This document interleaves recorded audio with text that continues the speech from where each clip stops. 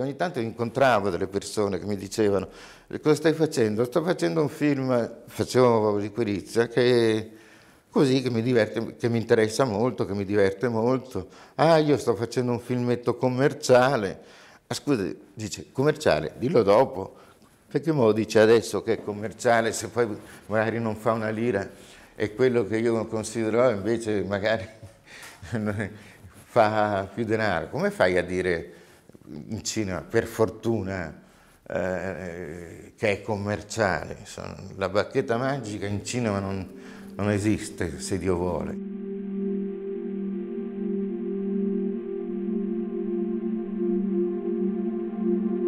Io ero ancora iscritto all'università, durante le riprese mio padre ogni tanto arrivava col libro di diritto e diceva, ma tutte, con tutte queste pause che c'è in questa lavorazione, perché non studi un po'?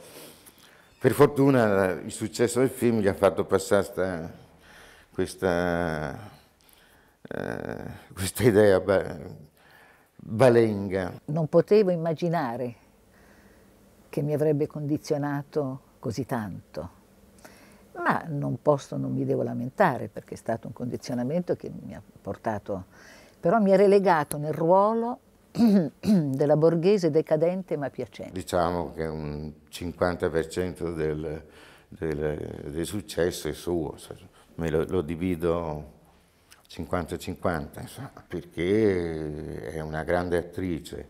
Eh,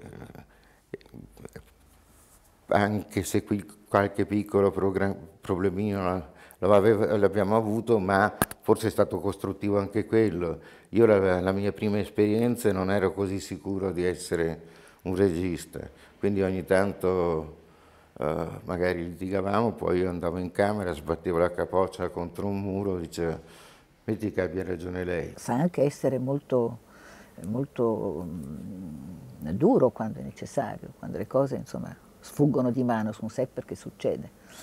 Però lui eh, eh, era con me dolcissimo e avevo un grande senso di protezione da parte sua. Infatti c'è la mitica frase, ero il più giovane della, troupe, eh, della troupe compreso Lucastel, e il capo macchinista, prendendomi un po' in giro, finita un'inquadratura, si, si accollava la macchina presa e mi seguiva dicendo macchina dove, macchina dove, macchina dove mettendomi in totale ansia e facendomi sentire più inesperto di quanto non fossi, finché un giorno ho capito tutto, mi sono girato e ho detto dove dico io, quando dico io.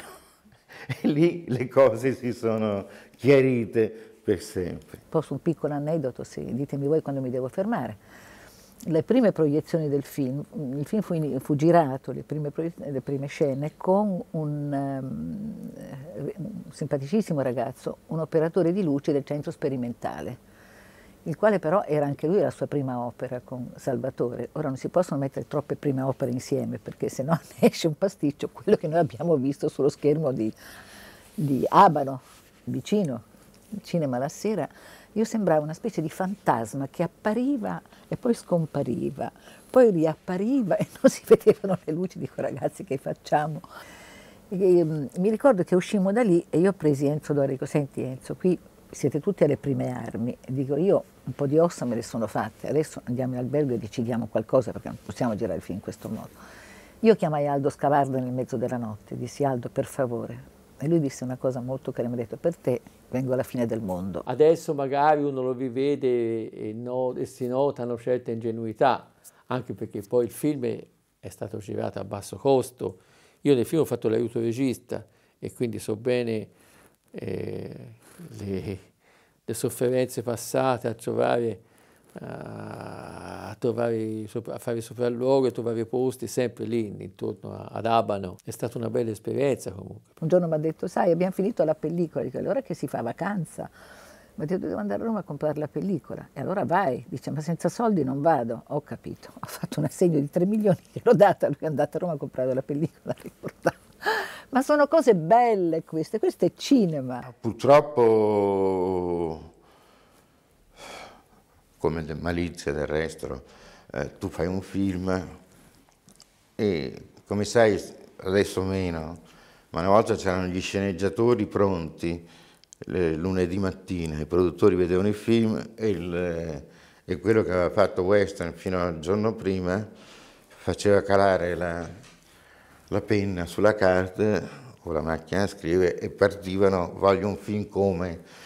Quindi generalmente pensiamo a quello che hanno fatto quei Decameroni e al povero Pasolini, eh, l'hanno fatto anche a me. Ma sai, sono situazioni quelle lì eh, che sono talmente diciamo, esistenziali di un giovane che rifiuta, che rifiuta l'impegno, i doveri, eh, la, la, vita comoda, il benessere, la famiglia, eh, la regolarità, il conformismo, il benessere, che diciamo tutti a quel tempo si sono medesimati, perché appunto il periodo era quello lì, quello del, del rifiuto dei valori. Lui aveva la necessità della lettura psicanalitica della situazione, quindi se gli dovevi muovi quella mano, ogni tanto avevamo trovato dei gesti, eh, dovevo assolutamente dargli delle, delle, spiegazioni psicanalitiche. La lettura suo, che, aveva fatto lui del film era psicanalitica, eh, per me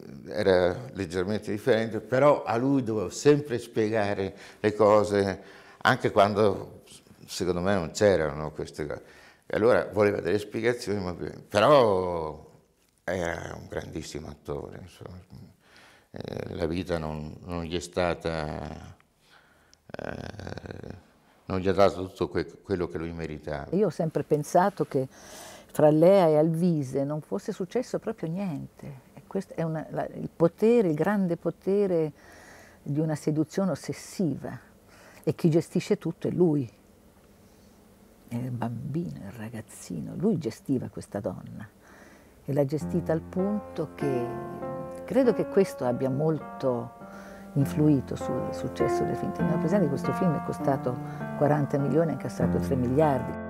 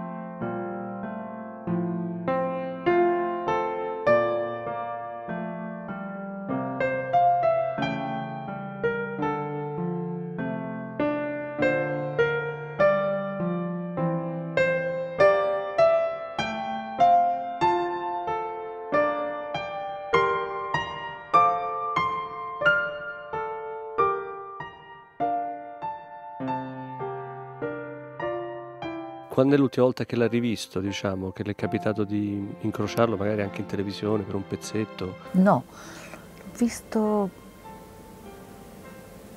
3-4 anni fa forse. 3-4 anni fa. E che sensazioni ha avuto?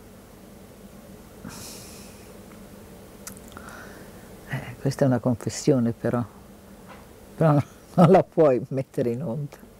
Te la dico ma non la puoi mettere in onda. D'accordo, la dica ma non la, la, la taglierò. No, se lei mi dice italiana la taglio.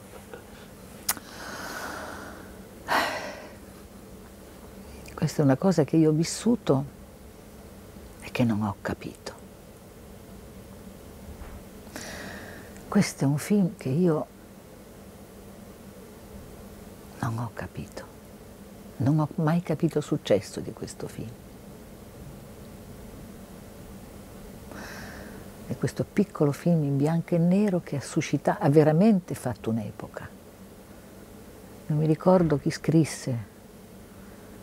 Ah, in Francia c'è Jean Moreau, in Italia c'è Lisa Gastoni, non mi ricordo chi l'ha scritto comunque. Questa cosa enorme che poi ha avuto enormi conseguenze nella mia vita. Ma c'è qualche cosa, secondo me, questa scatola magica di cui parliamo, c'è qualcosa di misterioso nel cinema, sai? Il cinema è una cosa così intima, così personale. Quando siamo davanti alla macchina da presa, ci vai nuda, ci, ci sono le emozioni, il tuo corpo,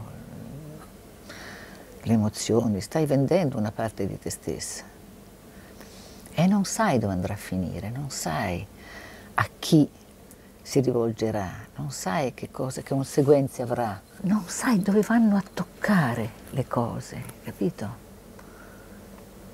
Le conseguenze che avranno. Adesso non è più importante perché adesso è tutto,